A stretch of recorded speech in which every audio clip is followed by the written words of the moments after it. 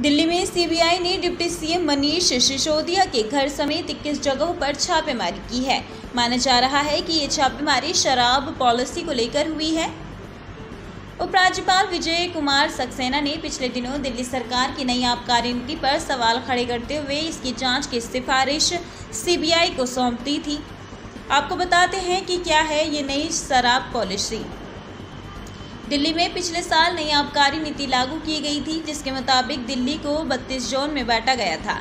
इनमें आठ सौ उनचास लाइसेंस आवंटित किए गए थे। इन 32 जोन में, हर एक जोन में औसतन 26 से 27 शराब की दुकान खुल रही थी। दिल्ली में अभी तक 60 फ़ीसदी दुकानें सरकारी और 40 फ़ीसदी निजी हाथों में थी, लेकिन इस नीति के बाद 100 फ़ीसदी दुकानें निजी हाथों में चली गई थी। नई आबकारी नीति के मुताबिक शराब की बिक्री से जुड़े नियम अब इस प्रकार थे।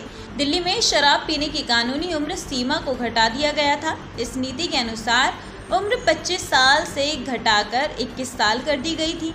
अंतर्राष्ट्रीय एयरपोर्ट पर ऑपरेटेड इंडिपेंडेंट शॉप और होटल पर 24 घंटे शराब की बिक्री हो रही थी। पहले की तुलना में शराब को दुकानों की दूरी कम कर दी गई थी। इस नीति के तहत शराब की दुकान कम से कम 500 वर्ग फीट में खुल रही थी।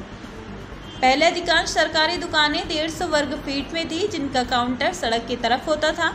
दुकान का कोई काउंटर सड़क की तरफ़ नहीं था। लाइसेंस धारक मोबाइल ऐप या वेबसाइट के माध्यम से ऑर्डर लेकर शराब की होम डिलीवरी कर रहे थे। किसी छात्रावास, कार्यालय या संस्थान में शराब की डिलीवरी करने की इजाज़त नहीं थी।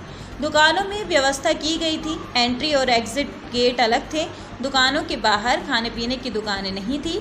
सुरक्षा की पूरी व्यवस्था की गई थी। सभी दुकानें मार्केट रेट के हिसाब से शराब की कीमत तय कर रही थी।